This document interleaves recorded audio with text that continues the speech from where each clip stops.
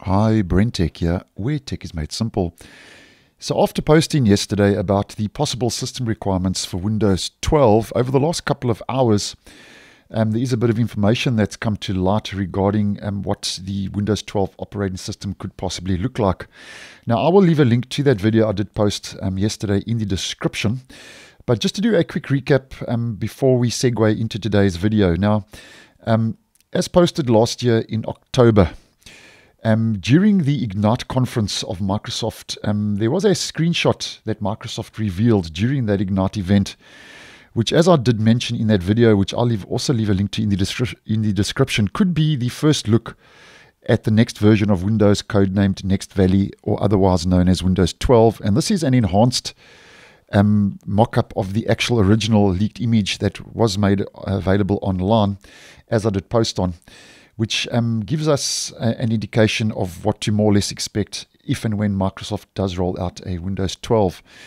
Now, in regards to this image and um, some recent reports, uh, in a recent dev channel build 25300, a previous dev channel build in the Insider program, um, it was discovered that Microsoft could possibly be working on some hidden features as some strings or hidden code were um, spotted where um, Microsoft could be working on hiding the taskbar clock and also the time and date in the system tray. Now, if we have a look at this uh, image, um, which I did post on last year, there is no system tray. There's no date and time and no system tray clock. All of that has been moved to the top.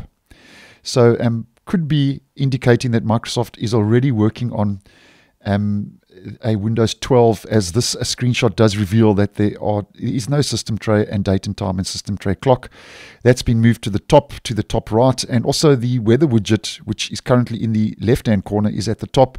Search has also been moved to the top as a kind of desktop search, and this looks like it's a a, a hidden taskbar, so to speak, at the top of the screen, and the taskbar at the bottom seems to have the effect of a floating taskbar user interface, as we can see with rounded corners, almost hovering and floating above the bottom of the screen, as I did mention in that previous video. So, just a couple of interesting bits of information coming through now that um, Microsoft could be indeed working on the next version of Windows, Next Valley, um, which is also known as Windows 12. And personally, I do think Microsoft will roll out a Windows 12 um, as I have mentioned in previous videos, and if you want more info regarding Windows 12, just do a search on the channel.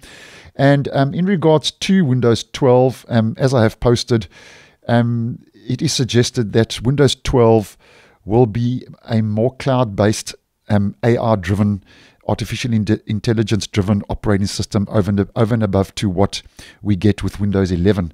Now, um, as mentioned yesterday, the system requirements for Windows 12 will more or less be the same, and that will possibly only be bumped up from 4 to 8 gigabytes.